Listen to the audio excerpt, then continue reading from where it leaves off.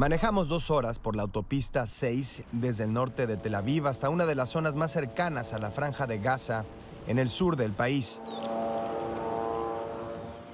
En el punto de encuentro acordado, la presencia de unidades terrestres, de infantería y artillería sugiere la probable incursión de fuerzas israelíes en Gaza en los próximos días.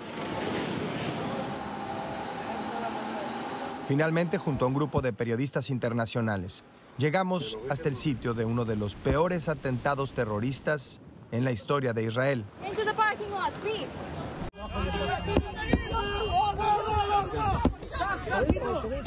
Cientos de jóvenes de varias partes del mundo, incluyendo México, murieron o fueron capturados como rehenes aquí, en el lugar al que habían llegado para celebrar la música y la vida en paz. En esa mañana del 7 de octubre, los sonidos de la celebración fueron reemplazados por balas y caos. Ahora, en este lugar solo queda destrucción y silencio. Bueno, en lo que encontramos también no solamente son los restos de quienes venían al festival a celebrar, sino esto, una motocicleta utilizada por uno de los terroristas de Hamas.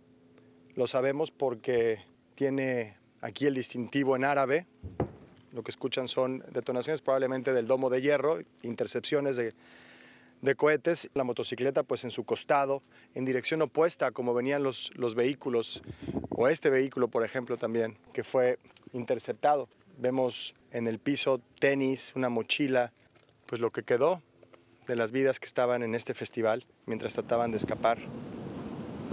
Los terroristas de Hamas también llegaron en parapentes y en vehículos que iban robando a lo largo del camino.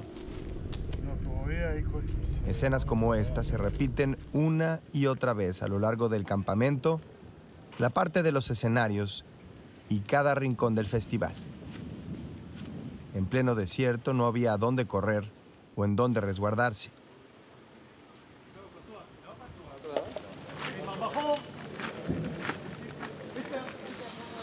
No podemos acercarnos más, todavía están realizando el trabajo forense de recoger partes de cuerpos.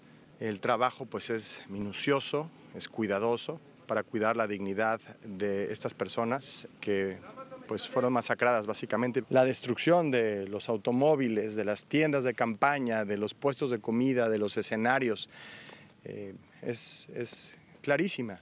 Realmente es difícil pensar que tenían oportunidad y, que eran eh, y no que eran presa fácil de, de los terroristas de Hamas.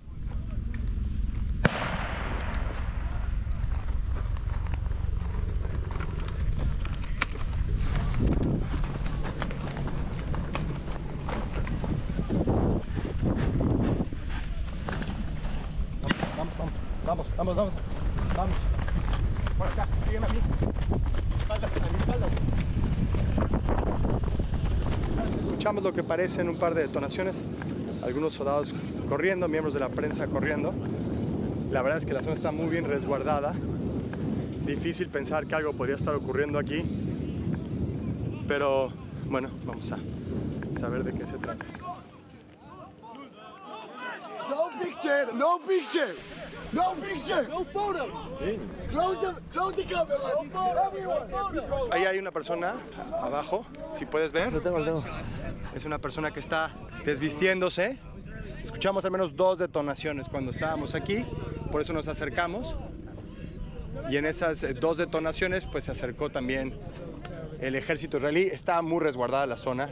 Go right now to the tent. Was the terrorist? He had the gun. He had. He didn't have a gun. He's arrested right now. Go. You're safe. Go.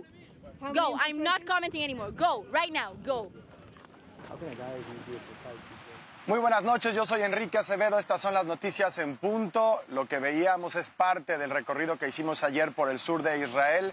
Finalmente, las autoridades del IDF, de las Fuerzas de Defensa de Israel, confirmaron que la persona que detuvieron tenía un cuchillo y probablemente había permanecido escondida en ese lugar desde los atentados del pasado 7 de octubre. Un hombre palestino al que detuvieron ayer en este lugar mientras nos encontrábamos ahí. Y transmitir